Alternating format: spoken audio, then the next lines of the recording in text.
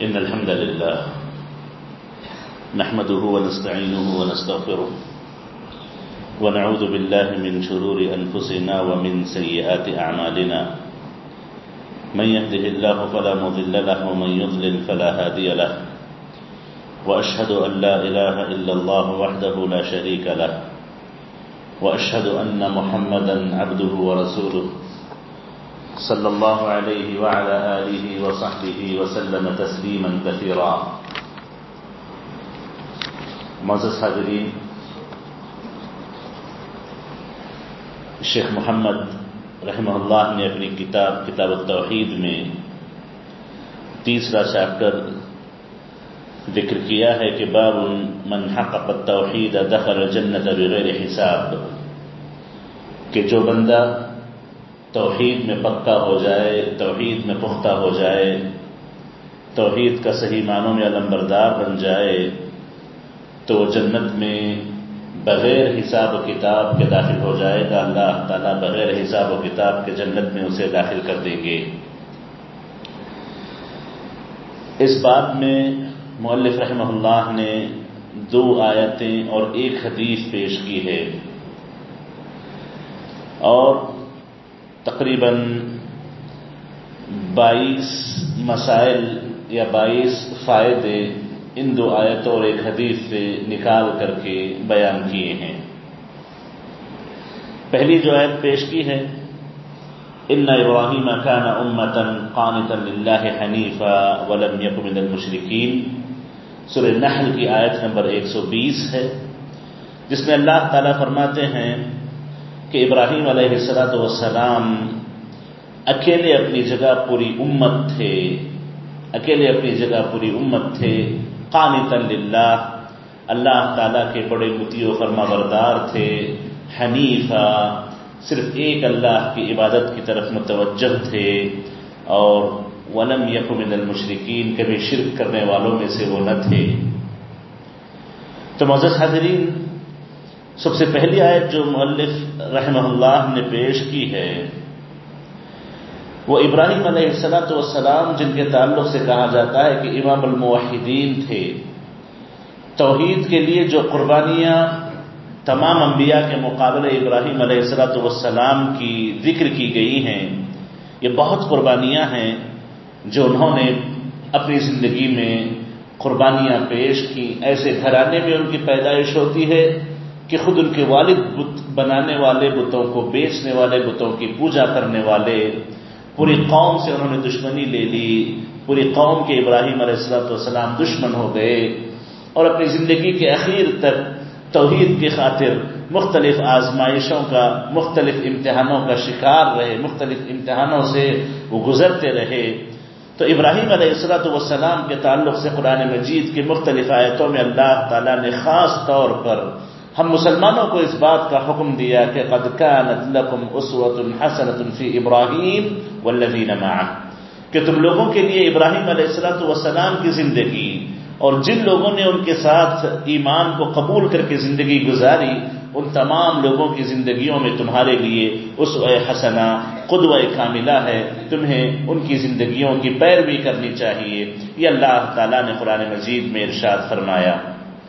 ان ابراہیم کان امتا قانتا للہ یعنی ابراہیم علیہ السلط والسلام اپنی جگہ قدوہ تھے، امام تھے. یعنی دیکھیے، یہاں پر اللہ تعالیٰ نے ابراہیم علیہ السلط والسلام کا جو ذکر کیا، ان کی چار صفتیں یہاں پہ بیان کی. ابراہیم علیہ السلط والسلام کی چار صفتیں، چار عادتیں، چار اخلاق آپ کے ذکر کیے. پہلی صفت کیا تھی؟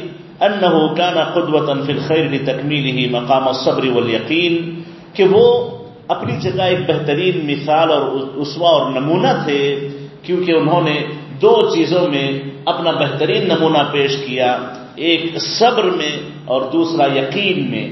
یقین میں اللہ پر یقین، اللہ کے فیصلوں پر یقین، اللہ تعالیٰ کے تقدیر پر یقین جتنا ان کو تھا، اس میں اعلیٰ مثال انہوں نے پیش کی۔ اور آزمائشوں میں صبر کے ذریعے انہوں نے اپنی مثال پیش کی تو کہتے ہیں کہ صبر اور یقین یہ دو ایسی چیزیں ہیں کہ اگر بندہ اس میں پکا ہو جائے تو اللہ تعالیٰ اسے امت کا امام بنا دیتے ہیں۔ وجعلنا منهم أئمة يهدون بأمرنا لما صبروا وكانوا بآياتنا يوقنون۔ قرآن مجید نے سورہ سجدہ میں اللہ نے کہا کہ ہم نے ان لوگوں میں سے کچھ ائمہ بنا دیے، کچھ قدوہ بنا دیے۔ کب؟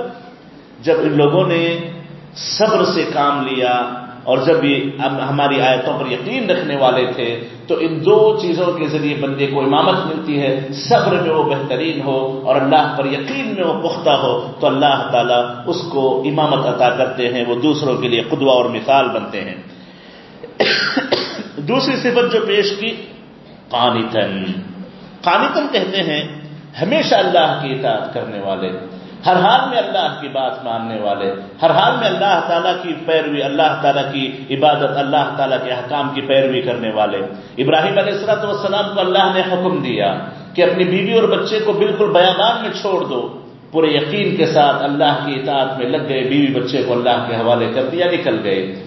ابراہیم علیہ السلط والسلام کو اللہ نے خواب میں دکھایا کہ اپنے بیٹ کو اپنے بیٹے کو ذبح کر رہے ہیں۔ اللہ کے نام پر بیٹے کو ذبح کرانے کے لیے زمین پہ لٹا دیا۔ ایسی ایسی اللہ تعالیٰ کی عبادت میں پختگی کی مثالیں اور پابندی کی مثالیں انہوں نے پیش کی کہ اللہ نے انہیں قانت کا لقب دیا۔ قانتن جو اللہ تعالیٰ کے لیے بڑے قانت تھے۔ حنیفہ، اللہ نے تیسری صفت بیان کرتے ہوئے کہا، الحنیف وہ ہوتا ہے جو صرف اللہ کی طرف متوجہ ہو، کسی اور کی طرف کوئی توجہ نہ ہو۔ صرف اللہ کو دیکھنے والا، صرف اللہ کی چاہنے والا، صرف اللہ کی پیروی کرنے والا، اللہ کے احکام کی اطاعت کرنے والا، اللہ کے علاوہ کسی کی اسے کوئی پرواہ نہیں ہے۔ اللہ تعالیٰ کے علاوہ کسی طرف وہ دیکھتا نہیں ہے۔ حنیف تھے، حنیف، صرف اللہ کی طرف توجہ کرنے والے تھے۔ یعنی اسے کہتے تجرد، کہ انسان مکمل عاری ہو جائے۔ صرف اللہ کے لیے زندگی گزارے، صرف اللہ کا ہو کے رہے۔ یہ صفت ابراہیم علیہ السلط والسلام میں تھی اور چوتھی صفت بیان کی گئی، ولم یقم من المشرقین یہ کبھی شرک کرنے والے نہ تھے، کبھی ان شرک نہیں کیا۔ یہ بہترین چوتھی صفت بیان کی کہ کبھی انہوں نے زندگی میں شرک نہ کیا، بلکہ مشرکوں سے اپنے آپ کی برات کا اظہار کیا۔ ان برا دون اللہ کہ ہم تم سے بری ہیں، تمہارے جتنے معبودان باطلا ہیں، ان سب سے ہم بری ہیں، سب سے برات کا اظہار کیا۔ انی بری مما تعبدون، تم جن جن کی عبادت کرتے ہو، سب سے اپنی برات کا اظہار۔ ابراہیم علیہ السلط وسلام نے کر کے اپنی ایک مثال پیش کی کہ وہ نشر کیے اور نہ کبھی شرک کرنے والوں کے ساتھ وہ رہے۔ انہوں نے معبودان باطلا سے برات کا اظہار کیا، معبودان باطلا کی عبادت کرنے والوں سے بھی برات کا اظہار کیا۔ اپنے دل سے، اپنی زبان سے، اپنے بدن سے، ہر اعتبار سے انہوں نے شرک سے اپنے آپ کو محفوظ رکھا۔ یہ چار صفتیں ان کی تھیں جو ابراہیم علیہ السلط والسلام کی مدح میں، ان کی تعریف میں اللہ نے بیان کی۔ اور دوسری آیت جو مولف رحمہ اللہ نے پیش کی، سورہ مومنون کی آیت نمبر انسٹھ ففٹی نائن ہے۔ جس میں اللہ تعالیٰ فرماتے ہیں والذین هم بربهم لا اللہ تعالیٰ نے مؤمنوں کی کچھ صفات بیان کی۔ اللہ تعالیٰ نے مؤمنوں کی کچھ صفات بیان کی۔ مؤمنوں کی صفات بیان کرتے ہوئے اللہ نے کئی چیزیں بیان کی کہ ان کے اندر فلاں صفتیں ہیں، فلاں عادتیں ہیں، فلاں خسرتیں ہیں۔ وہیں پر اس کا خاص طور پر ذکر کرتے ہوئے کہا والذین هم بربهم لا یہ ایسے ہوتے ہیں کہ کبھی اپنے رب کے ساتھ شرک نہیں کرتے۔ کبھی اپنے رب کے ساتھ شرک نہیں کرتے۔ یہی تحقیق التوحید ہے۔ یہی تحقیق التوحید ہے۔ توحید میں پختہ ہونا، توحید میں پکا ہونا اس کی سب سے پہلی سیڑھی یہ ہے۔ اس کا سب سے پہلا تقاضا یہ ہے۔ اس کا سب سے پہلا مطالبہ یہ ہے کہ آپ شرک سے اپنے آپ کو بچائیں۔ شرک سے اپنے آپ کو دور رکھیں۔ یہی تو کلمہ توحید ہے۔ لا الہ الا اللہ۔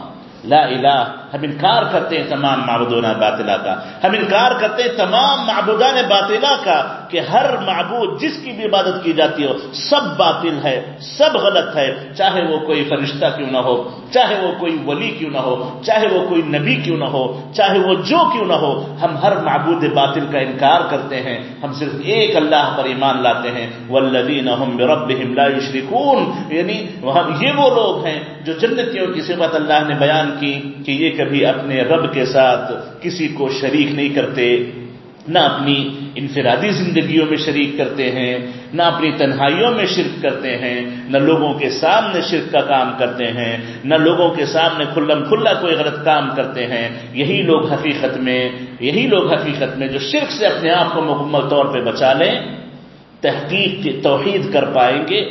توحید میں پختے اور پکے بن پائیں گے۔ اس لیے مولف حمید اللہ رحمہ اللہ نے یہ دو آیتیں یہاں پر پیش کی ہیں۔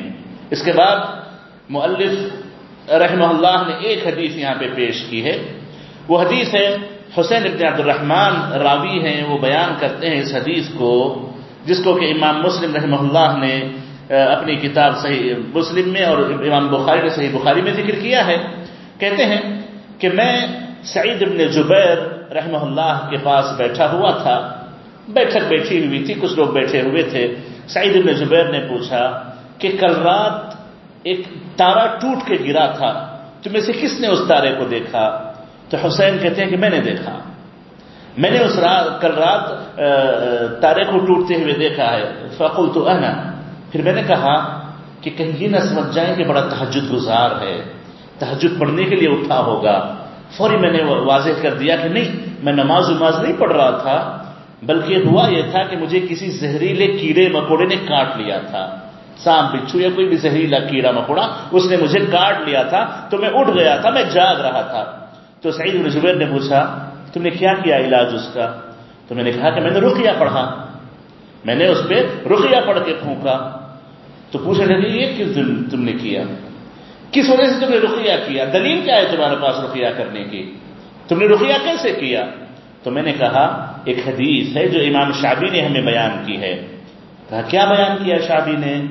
تو کہنے لگے شابی کہتے ہیں کہ بریدہ بن حسیب رضی اللہ عنہ نے کہا، ہم سے کہا تھا کہ لا رقیت الا من عین اور حومہ کہ دیکھو، جب رقیہ کیا جاتا ہے، پڑھ کے پھونکا جاتا ہے، تو رقیہ دو چیزوں میں بہت زیادہ نفع بخش ہے۔ دو چیزوں میں رقیہ بہت زیادہ نفع بخش ہے۔ ایک، اگر کسی کو نظر بد ہو جائے، تو رقیہ بہت کام آتا ہے۔ رقیہ بہت کام آتا ہے۔ اور دوسرا، اگر کوئی زہریلی چیز کاٹ لے، تو رقیہ بہت مفید ہوتا ہے۔ تو یہ سن کر کے سعید ابن زبیر نے کہا، قد احسن من انتہا الى ما سمع. کہ دیکھو، تم نے ایک اچھی بات سنی تم نے اس پہ عمل کیا، یہی طریقہ ہونا چاہیے۔ یہی طریقہ سب سے صحیح ہے کہ جب بندے کو اچھی بات کا پتہ چلے تو اس پر عمل کرنا چاہیے۔ قد احسن من انتہا الى سمع، جو سنا اس پہ عمل کر لیا، یہ بڑی اچھی چیز ہے، کیونکہ باتیں سن کر کے ایسی رکھی نہیں جاتی، اس پہ عمل کرنا چاہیے، وہ پریکٹس کے لیے وہ چیزیں ہوا کرتی ہیں۔ پھر سعید ابن زبیر نے کہا کہ لیکن یہ بھی بات یاد رکھو۔ ابن عباس رضی اللہ عنہ نے مجھ سے یہ حدیث بیان کی ہے کہ نبی کریم علیہ السلاۃ والسلام نے ایک مرتبہ فرمایا اور کہ ایک مرتبہ خواب میں امتیں میرے سامنے پیش کی گئی یا اسرا و معراج کے موقع پر امتیں میرے سامنے پیش کی گئی مختلف قومیں میرے سامنے پیش کی گئی ان کو مجھے دکھایا گیا۔ تو میں نے دیکھا کہ محشر کا موقف ہے، محشر کا حال ہے، قیامت کا موقع ہے۔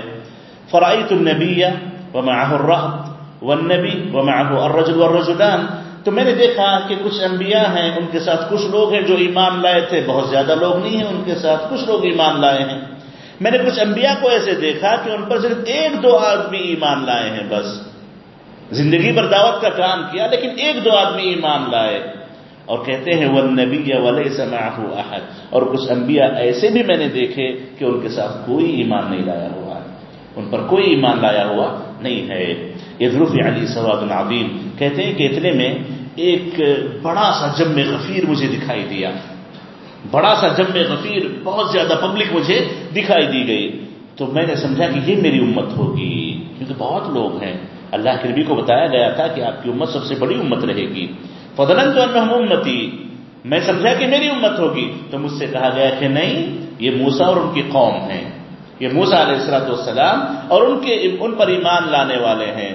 فن کہتے ہیں، پھر میں نے ایک اور جگہ دیکھا، ایک اور مرتبہ دیکھا۔ فعید سواد العظیم وہاں پر ایک اور جمگھٹا کھڑا ہے۔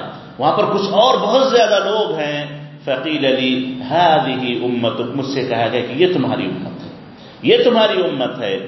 وہ میں سبرون الف اور مجھے یہ بھی کہا گیا کہ ان لوگوں کے ساتھ ستر ہزار لوگ ایسے ہیں اس جم غفیر میں ستر ہزار لوگ ایسے ہیں ید خلون جنت بغیر حساب ولا عذاب۔ جو لوگ جنت میں بغیر حساب کے، بغیر عذاب کے چلے جائیں گے، نہ ان کو عذاب ہوگا، نہ کوئی تکلیف ہوگی، نہ ان کا حساب و کتاب لیا جائے گا، سیدھے جنت میں چلے جائیں گے۔ تو کہتے ہیں، ثم نہ وفا دخل پھر اللہ کے اٹھ کر کے اپنے روم میں چلے گئے، اپنے گھر پہ چلے گئے۔ اب لوگ پریشان ہیں کہ کون لوگ ہیں؟ نہ حساب ہوگا، نہ عذاب ہوگا، سیدھے جنت میں داخلہ ملے گا۔ فخاب اللہ صوفی اولا لوگ ان کے تعلق سے سوچنے لگے، بولنے لگے کہ کون لوگ ہو سکتے ہیں۔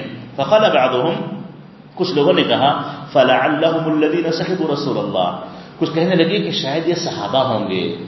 شاید یہ صحابہ ہوں گے جو بغیر حساب کتاب کے جنت چلے جائیں گے۔ بعض نے کہا، نہیں نہیں، شاید یہ وہ لوگ ہوں گے جو اسلام میں پیدا ہوئے، کبھی زندگی میں انہوں نے اللہ سے شرک نہیں کیا، اللہ سے کبھی وہ، اللہ کے ساتھ کبھی کسی کو شریک نہیں کیے، پیدا ہی اسلام میں ہوئے۔ صحابہ تو کفر میں پیدا ہوئے، بعد میں اسلام قبول کیے، شاید یہ وہ لوگ ہیں جو اسلام میں پیدا ہوئے، کبھی زندگی میں شرک ان لوگوں نے نہ کیا ہوگا۔ وہ کرو اشیا راوی راوی کہتے ہیں کہ لوگوں نے بہت سی چیزیں سے ذکر کی کہ یہ ہوں گے، وہ ہوں گے، وہ ہوں گے۔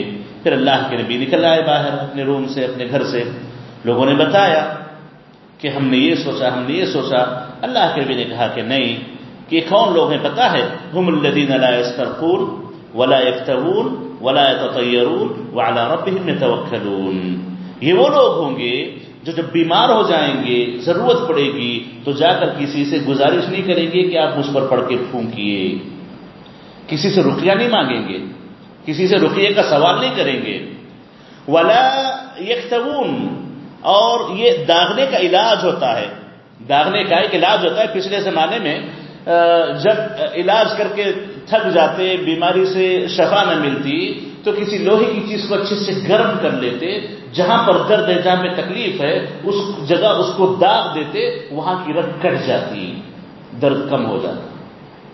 وہاں کی رگ کاٹ دیا کرتے تھے۔ کئی کا علاج سے کہتے ہیں۔ تو اللہ کے نبی نے کہا، اگرچہ علاج جائز ہے لیکن اللہ کے نبی نے کہا کہ بغیر حساب، بغیر عذاب کے جو جنت داخل ہوں گے، یہ کون لوگ ہوں گے؟ لا یکتبون یہ کئی کا علاج کبھی نہیں کروائیں گے۔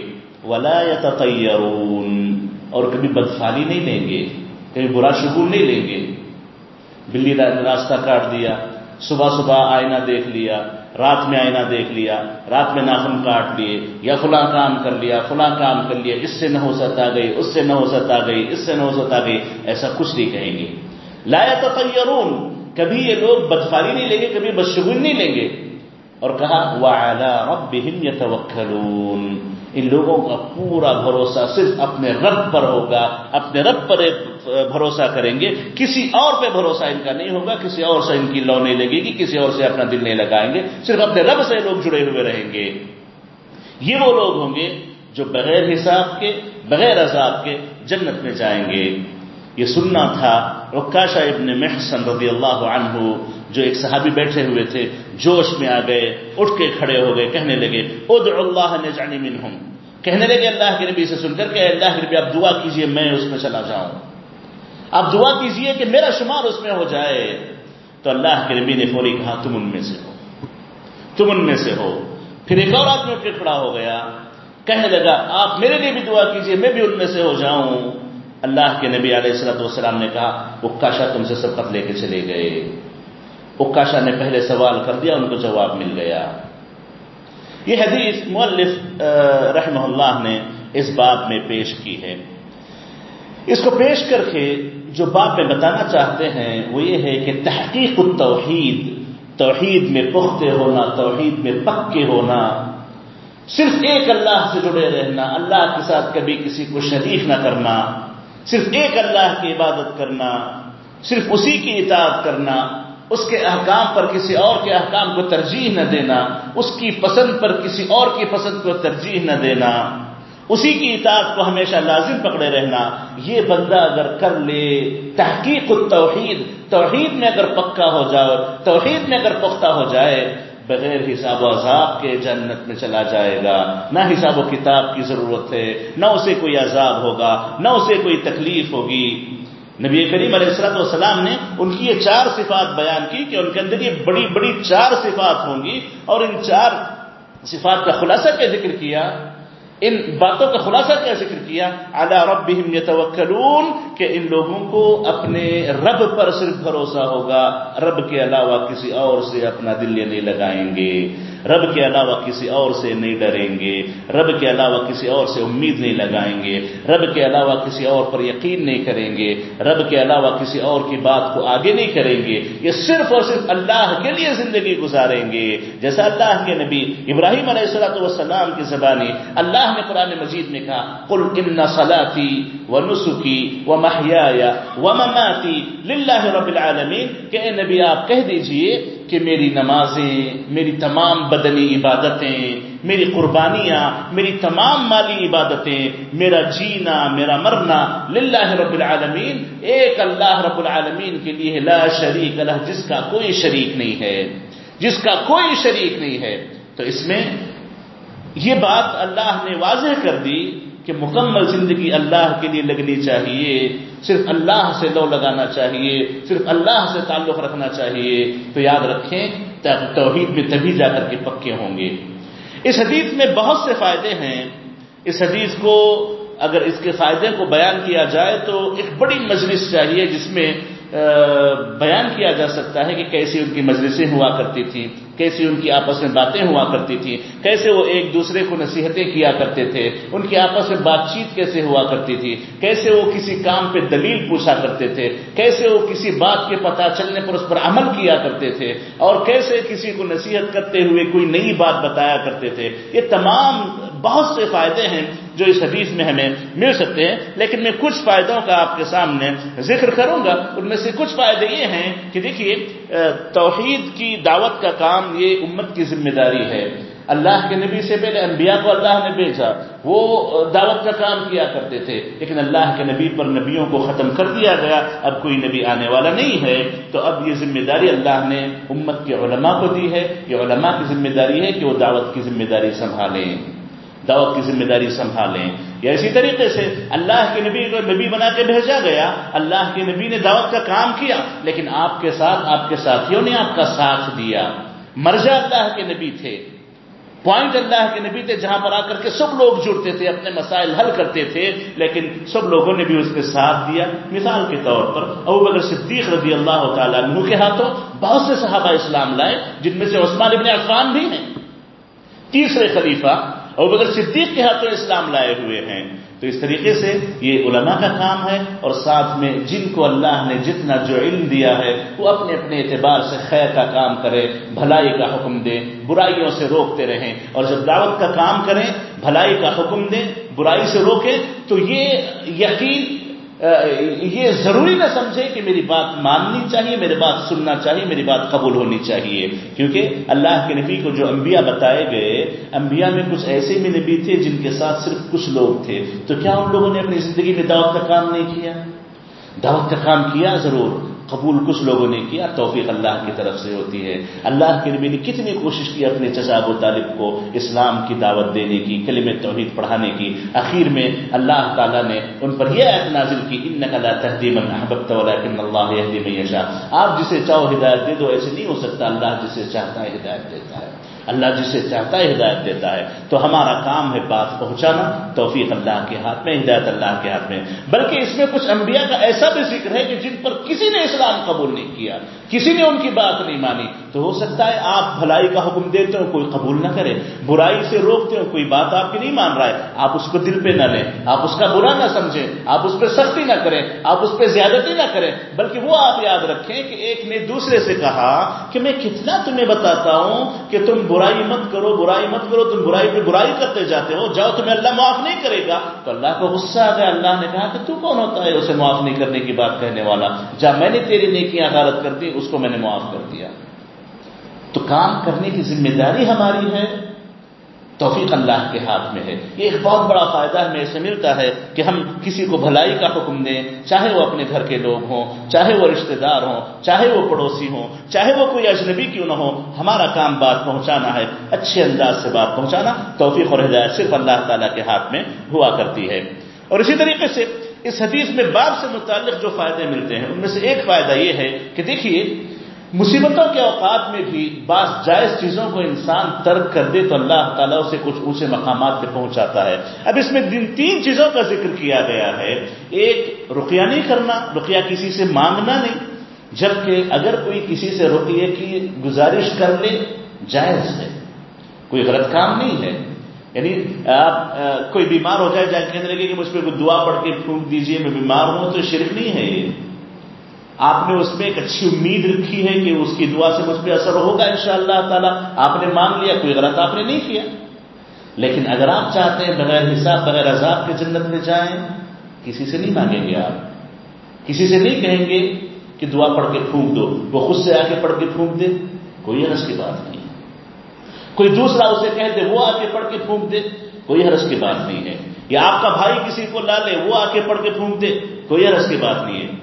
اس میں کوئی حرض کی بات نہیں ہے ان شاء اللہ تعالیٰ۔ لیکن آپ خود جا کر کے کسی سے مانگیں کہ مجھ پہ پڑھ کے پھونکو، یہ نہیں ہونا چاہیے۔ اس میں اگرچہ جائز ہے، لیکن آپ تھوڑا سا یہ سوچیں کہ گویا آپ نے اپنے اور اللہ کے بیچ میں کسی کو جائز طور پر اسے داخل کر لیا ہے کہ میری ڈائریکٹ اللہ سے نہیں بن رہی ہے، آپ سے بن جائے گی۔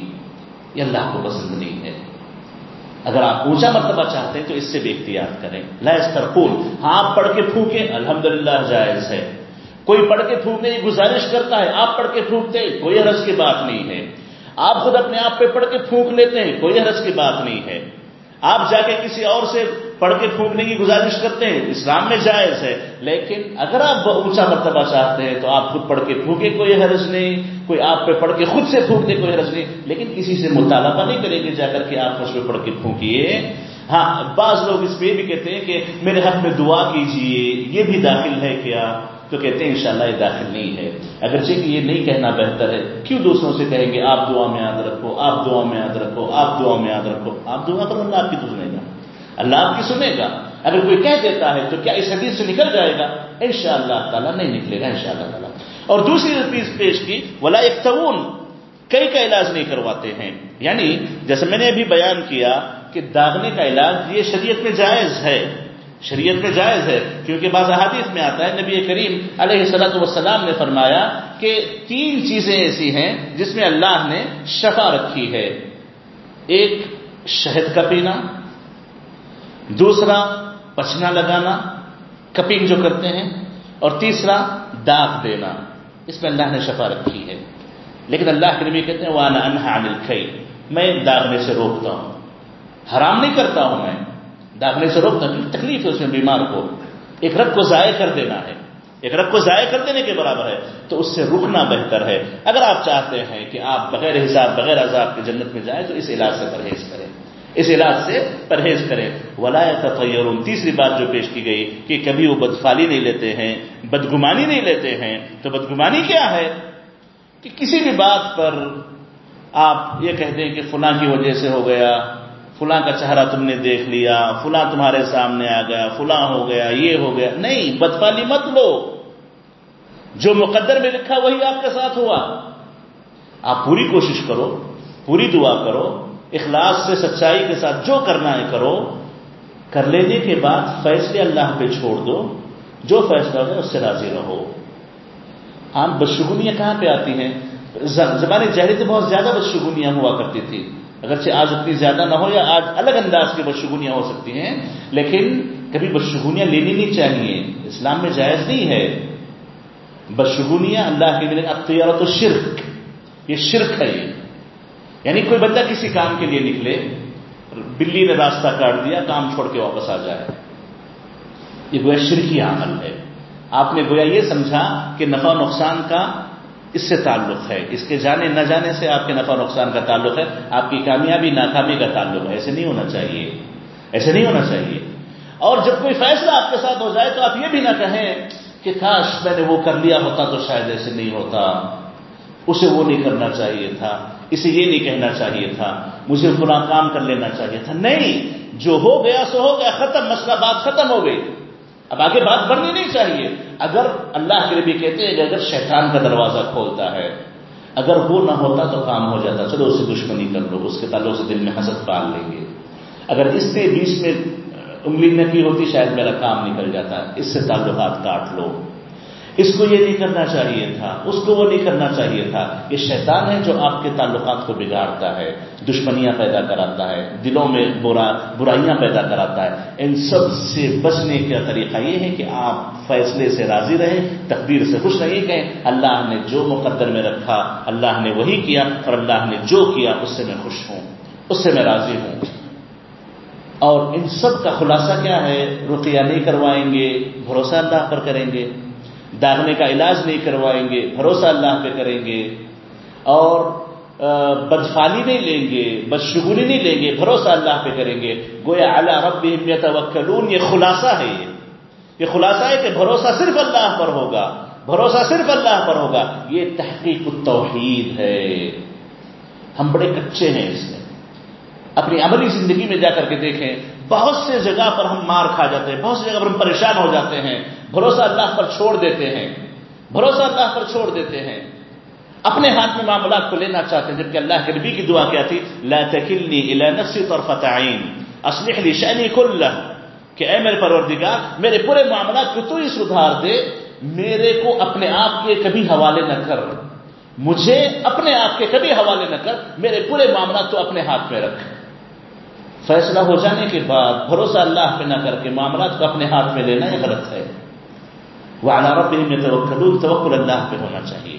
بھروسہ صرف اللہ پہ ہونا چاہیے کہ جو اللہ نے کیا، فیصلہ صحیح کیا، اس سے راضی رہیں۔ ایسے بہت سے فائدے ہیں۔ تقریباً میں نے کہا کہ بیس فائدے بیس فائدے یا بائیس فائدے مولف رحمہ اللہ نے اس میں ذکر کیے ہیں۔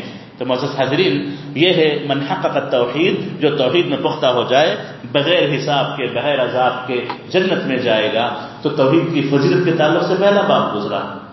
دوسرے بات میں توحید سے کیسے گناہوں کو بخش دیا جاتا ہے، توحید کیسے گناہوں کو معاف کرا دیتی ہے، اس کا ذکر آیا۔ تیسرے بات میں توحید کو پختہ کرے گی تو بغیر حساب، بغیر عذاب کے جنت میں جائیں گے، اس کا ذکر ہے۔ اب اگلے جتنے ابواب آ رہے ہیں، ان تمام ابواب میں آپ جانیں گے کہ توحید کو کیسے پختہ کیا جاتا ہے۔